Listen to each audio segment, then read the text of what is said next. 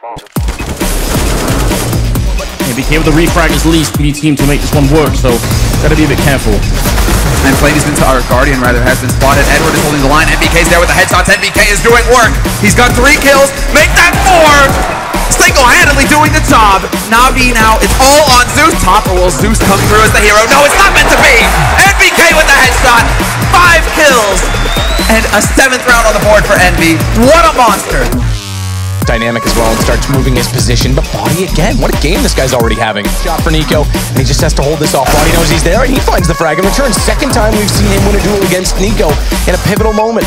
Grabbing bomb again, though it's still a one versus three flash out. Manages to avoid it. Dennis doesn't commit completely to the peak, but it doesn't matter. This could be a really interesting play as he has got another player towards highlights. Just speedy to find now, and he will be oh! towards Ace Torres, and he does it! The ace clutch from Body nails it!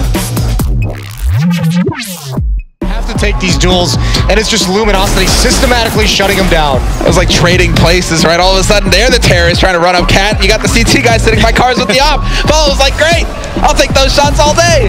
Triple kill for Fallen, who has been carrying his team. He is the captain here, and he has been top fragging for a very long time here on Dust 2. It's on Shox in at 1 on 3 to try and keep it alive, otherwise we'll go to a fifth map in the grand finals. Shox tabs out one, and that's a deadly kill. Goes for the second, and he's moving closer, looking for the quad clutch here. FNX, the last man alive, he's going to tap the bomb once. Shox. Ah! Oh, oh, You've got to be kidding! He takes the quad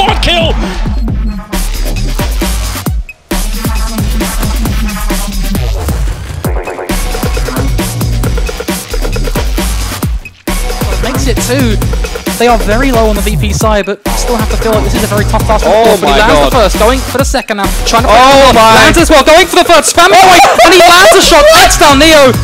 What was now they're being aggressive. Now Apex is going to move up. He wants as much control as possible of the bomb site to prevent the enemy's players from rotating it from Z and immediately retaking it. And Apex is going to move forward, but he could get boxed out by the guy in Z. In fact, XMS was ready for that one. He was expecting it. So he takes him down, and now they've lost the man advantage. All of a sudden, it's Kenny and Shox versus the world here, and Shox really detached from the action. Kenny, first step the bat, he finds a shot, but he's being pressured up close. He needs Shox to support him. He's watching for a flank, but what?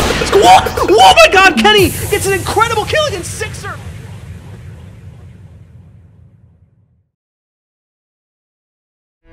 Faites pas attention à ça, juste soyez directement dans la game, go crier, go s'enflammer, ok, comme hier, la même rage, et les gars, s'il y a un pote qui se tape, tout de suite on va l'aider, ok, faut que ça soit énergétique. Il y, a, il y, a un mouvement sur une zone, tout de suite on fait un truc, on va aider un pote, on, ça flash, ça smoke, ça si, ça ça, ok, ça bouge, il y a de la vie, on joue à CS, on joue ensemble, on joue en teamplay, s'il y a un pote qui se tape, on va l'aider, et nique sa mère. Si le mec en face il fait 3 kills, il fait action vidéo, il va il ferait une action vidéo, on s'en bat les couilles. Mais c'est comme à la guerre, ok, on est entre nous, on est dans la même merde, on est les 5 doigts d'une main, et il faut qu'on le ressente in game, ok les gars?